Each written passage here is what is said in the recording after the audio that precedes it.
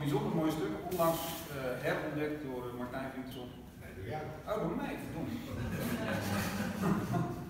het, is een, eh, een, het staat op een plaat met van Duke Ellington, fantastische pianist en big band leider.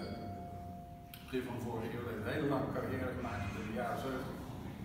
En die heeft een duo-plaat gemaakt met, uh, of tenminste niet een duo-plaat, maar als hoofdside met naast een John Coltrane. En daar staan een aantal hele mooie stukken op.